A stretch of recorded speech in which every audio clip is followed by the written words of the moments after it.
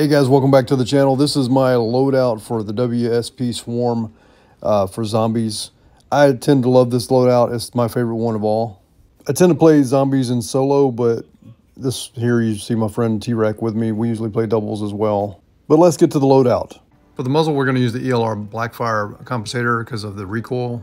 And we're not going to worry about the loss in bullet velocity. Next is the WSP zip barrel. We're going to get the sprint to fire speed, which we need, and we're also going to lose bullet velocity again. No worries. We're going to use the Slogger ULO 66 laser for hipfire control and also hipfire spread. And what would an SMG be without a 100 round drum? We're going to lose some movement speed, reload quickness, sprint to fire, but we're good. Lastly, the Merc foregrip, we're going for speed here, aim, walking steadiness, hip fire spread, and also recoil control. I truly believe with this loadout, you'll be a zombie killing machine and have your gun at gold in no time. Thanks for watching, and if you have the time, hit like and subscribe. Appreciate you.